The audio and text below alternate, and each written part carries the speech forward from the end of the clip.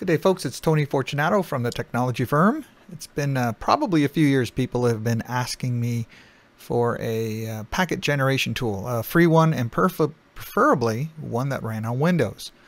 So I came across this packet sender app probably a month ago. So I'm not going to profess to be any kind of expert, but I've been playing with it a bit. I kind of like it. So I thought I would take a few seconds to show it to you. It's packetsender.com. I'll put the link right in the article, but I, am sure you'll find it. And the website's uh, pretty self-explanatory. Got lots of examples, which is kind of cool. And they've got uh, various versions to download. I, I, went and got the Windows one. The uh, Windows one comes in two flavors. There's the portable one and the actual one you install. Now, keeping in the theme of all my portable tools, like iPerf and HRPing and all those tools I've covered in the past, this one can also go on your little troubleshooting USB key or on a folder on a server, that kind of thing. So let's jump right into it.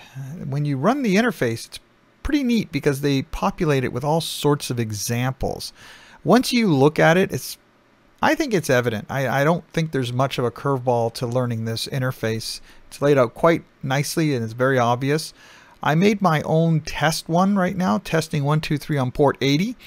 Now port 80 is HTTP. I intentionally did not want an HTTP command. I just want to hit it on port 80 with a little bit of data in the packet so I can search for it in the trace file. And I'm trying to emulate that concept I talk about packet bookmarking, where you send a packet across the wire, you can search for that data, and you can find your packets nice and quick. So this is the, the packet I chose, right? Now, the, the neat thing about it is you can just create whatever you want. So even if I hit this TCP pull down, um, sorry, right up here, pull down, you'll see it says HTTP get, post, all that kind of stuff. And, and I didn't want to do that, but it's pretty easy to change if you wanted to. And if you want to load a file, you can actually load a file, all that cool stuff. Again, I'm not going to I'm not going to bore you with this because it's pretty straightforward.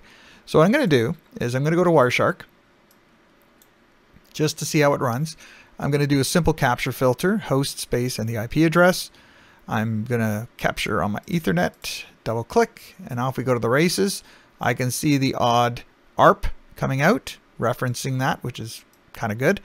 If I wanted to be a little more specific, I would just do a, a port filter or a combination of IP and TCP port 80. That's fine, that's fine. So I'm going to smooth that aside, come back over here. And if I just hit the send button, off it goes to the races. And if you take a look at your trace, again, this is a great way to learn about packet analysis. So you stop the capture, and sure enough, you see my packets.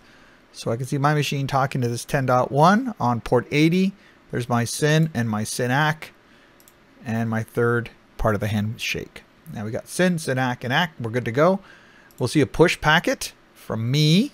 And if you look at the length, you'll see 11 bytes in there. And you come down here, you can see testing 1, 2, and 3. Just pull this up just a bit. There you go. You can see it clearly now. Testing one, two, three. Uh, 10.1 comes back and acknowledges my packet. I politely send a fin, ack, fin, ack, ack, and nice shutdown. So there you go, folks. It works. It's obvious. I, again, I'm not going to spend a whole lot of time on it because I'm sure you can figure it out. Hope it helps. Have a good day. Bye for now.